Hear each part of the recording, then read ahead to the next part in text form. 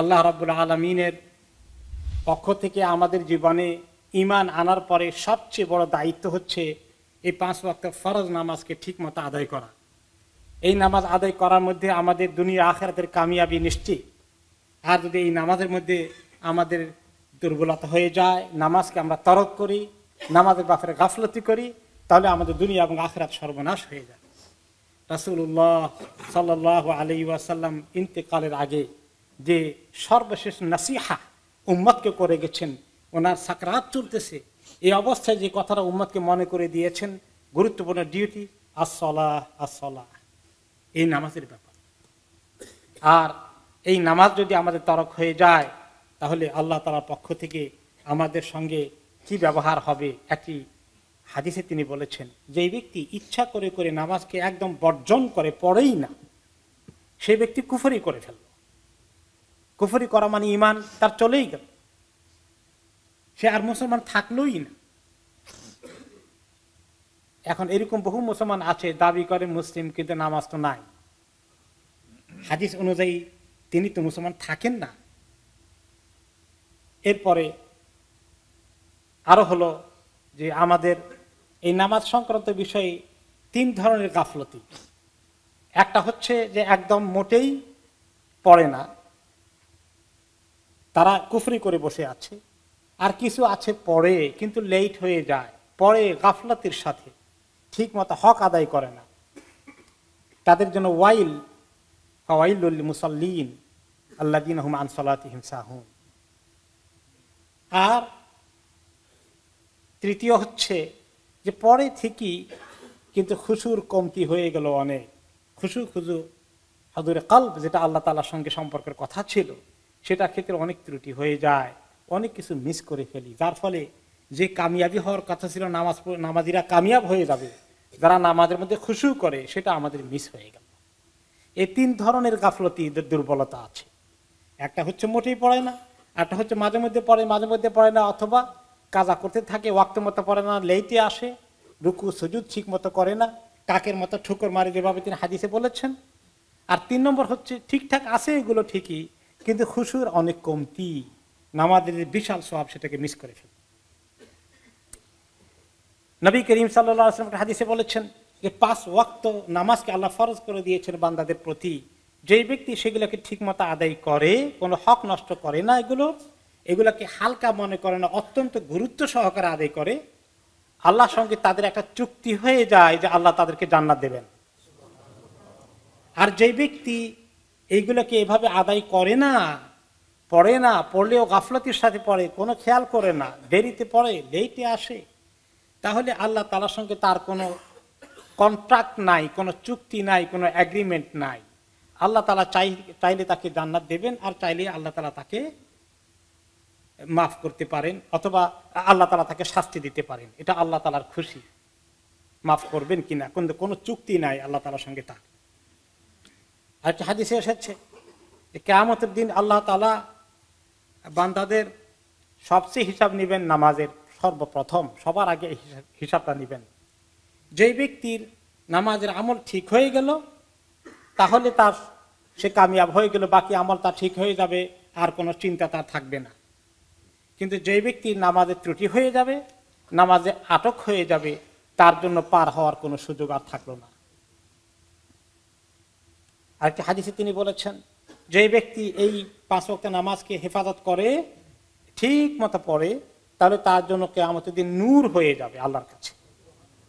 দলিল হয়ে যাবে, নজাত হয়ে যাবে।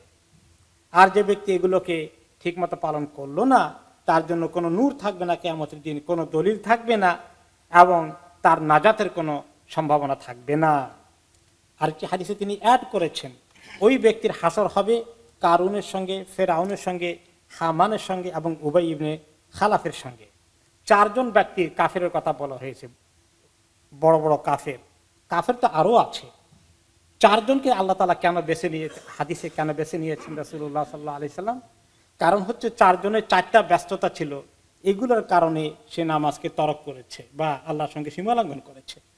আর কারণ কোনটা নিয়ে বিজি ছিল? কারণ বিজি ছিল তার মাল নিয়ে, অনেক বড় ধনী ছিল। এগুলা রক্ষণাবেক্ষণ, এগুলা ঠিক মতো রাখা, এগুলাকে এনজয় করা এই জন্য যে মালদার, মালের কারণে, সম্পদের কারণে এত টাকা পয়সা হয়ে গেছে, ওগুলা হিসাব নিকাশ নিয়ে, ওগুলার কারণে ব্যস্ত, যার ফলে তার হাসর হবে কারণের সঙ্গে। আর ফেরাউনের সঙ্গে হাসর হবে কার? ওই সমস্ত শাসক গোষ্ঠী বা রাজনীতিবিদ, যারা রাজনীতি করতে গিয়ে আর রাষ্ট্র চালাতে গিয়ে ওইটা নিয়ে তারা এত ব্যস্ত ছিল, নামাজ পড়ার কথা চিন্তাও করেনি, তাদের সময় হয়নি। এই জন্য তারা ফেরাউনের বাদশার যে বাদশাহী করেছে, তার সঙ্গে তাদের হাসর হবে। আর হামান, সে কি তার সঙ্গে কার হাসর হবে? ওই সমস্ত পলিটিশিয়ান যারা মন্ত্রী হয়েছে, অথবা এরকম বড় পলিটিক্যাল পজিশন হোল্ড করেছে, তাদের, এই- এই মন্ত্রিত্ব আর এই রাজনীতি, এগুলো করতে গিয়ে ব্যস্ত ছিল যে সেজন্যে তাদের হাসর হবে পলিটিশিয়ানদের হাসর হবে হামানের সঙ্গে। আর উবাই ইবনে খালাফের হাসর হবে কার সঙ্গে? ওই সমস্ত ব্যবসায়ীরা, ব্যবসা করতে গিয়ে ব্যবসা এত ব্যস্ত করে রেখেছে যে তারা নামাজ পড়তে পারেনি। তাদের হাসর হবে উবাই ইবনে খালাফের সঙ্গে, কারণ সে ছিল মক্কার মুশ্রিকদের সবচেয়ে বড় ব্যবসায়ী। এভাবে করে আল্লাহ তালা তাদেরকে হাসর করবেন। কাফেরদের সঙ্গে, বেদিনদের সঙ্গে, মুশ্রিকদের সঙ্গে, মুসলমানদের সঙ্গে হাসর করবেন না। এই জন্যই যে যেই ব্যক্তি নামাজ পড়ল, তার সঙ্গে তার ইমান আছে, তার সঙ্গে আমাদের চুক্তি আছে, তার সঙ্গে আমাদের এই উম্মতের সম্পর্ক আছে। আর যে ব্যক্তি নামাজ পড়ল না, বর্জন করল, ত্যাগ করল, সেই ব্যক্তি হাসর হবে বা সেই ব্যক্তির সঙ্গে ইসলামের কোনো সম্পর্ক থাকে না, সে কুফরি করেছে। আল্লাহ তালা কালামে পাখি বলেছেন, তোমরা নামাজগুলো হেফাজত করো, বিশেষ করে মাঝখানের নামাজটা। আর আল্লাহ তালার সামনে যখন দাঁড়াবা খুব খুশু খুশু সহকারে দাঁড়াও। তো মাঝখানের নামাজ কোনটা? সব নামাজের হেফাজত করে বলেছে, করতে বলেছেন, মাঝখান দিয়ে মাঝখানেরটা। তাফসির এসেছে মাঝখানেরটা হচ্ছে আসরের নামাজ। কারণ আসরের নামাজটা ব্যস্ততার কারণে হাট বাজার করতে গিয়ে চট করে শেষ হয়ে যায়, অক্ত চলে যায়।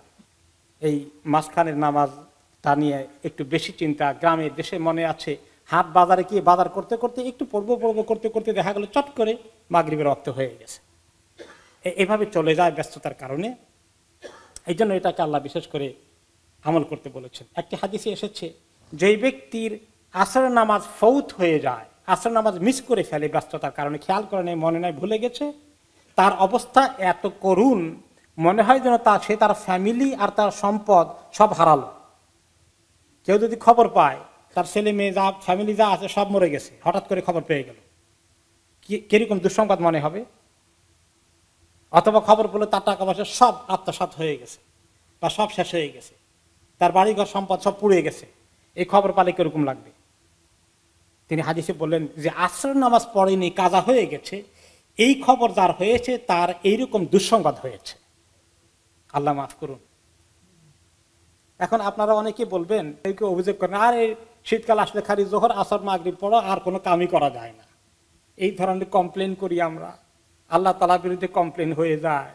আল্লাহ তালার বিরুদ্ধে কমপ্লেন করা ঠিক হবে। তো আল্লাহ তালা জানেন যে এই দিন ছোট হবে, ওই সমস্ত দেশে নামাজ পড়তে কষ্ট হবে মুসলমানরা এখানে আসবেন এবং থাকবেন। এগুলো কি আল্লাহ তালা জানেন না? জানেন। তো আল্লাহ তালা জেনেও আমাদেরকে হুকুম ফরজ দিয়েছেন। আমরা চেষ্টা করি আমাদের হাততাল, ইমকান কোশেষ করি। যেন কষ্ট হলে আমরা করি। এই কষ্ট হবে, কিন্তু এর বিনিময় পুরস্কারটা কত বড় হবে? জান্নাতের পুরস্কার হয়ে যাবে। আর লস হলে কত বড় লস হয়ে যাবে? নবী করিম সাল্লাম এই নামাজের ব্যাপারে আরও অনেক সুন্দর সুন্দর কথা বলেছেন। তিনি বলেছেন, যেই ব্যক্তি এই পাঁচ ওয়াক্ত নামাজকে ঠিক মতো পড়ে, তোমাদের কেউ যদি পাঁচ ওয়াক্ত একটা লোকের কেউ যদি বাড়ির সামনে নহর থাকে, নদী থাকে, খাল থাকে, সেখানে পাঁচবার দৈনিক গোসল করে, তাহলে তার শরীরে কোনো ময়লা থাকবে? সাহবা কেরাম বলেন, না, তা তো প্রশ্নই আসে না। তিনি বলেন, পাঁচ ওয়াক্ত নামাজে ঠিক মতো পড়বে, এইভাবে তার শরীরে আর কোনো গুণা থাকবে না। এরপরে আরেকটি হাদিসে তিনি বলেছেন যে, কেয়ামতের দিন যখন পাঁচ ওয়াক্ত বান্দার নামাজকে যখন দাঁড়ি পাল্লায় উঠানো হবে মাপার জন্যে, যদি দেখা যায় যে তার দাঁড়ি পাল্লাতে ফরজ নামাজের কমতি হয়ে গেছে, কিছু ত্রুটি হয়ে গেছে তখন আল্লাহ তালা বলবেন বান্দার সুন্নত নফল আসেনি, ওগুলো এনে জোড়া দাও। তাহলে সুন্নত নফল দিয়ে জোড়া দেওয়া হবে। তাহলে এই জন্য ফরজ নামাজকে ঠিক মতো পড়া সুন্নত গুলোকে তরক না করা, নফল, বিশেষ করে তাহাজ্য অন্যান্য নকলগুলোকে আদায় করার চেষ্টা করা, যাতে ফরজ নামাজের টানাটানি হয়ে গেলে এগুলো দিয়ে জোড়া দেওয়া যায়।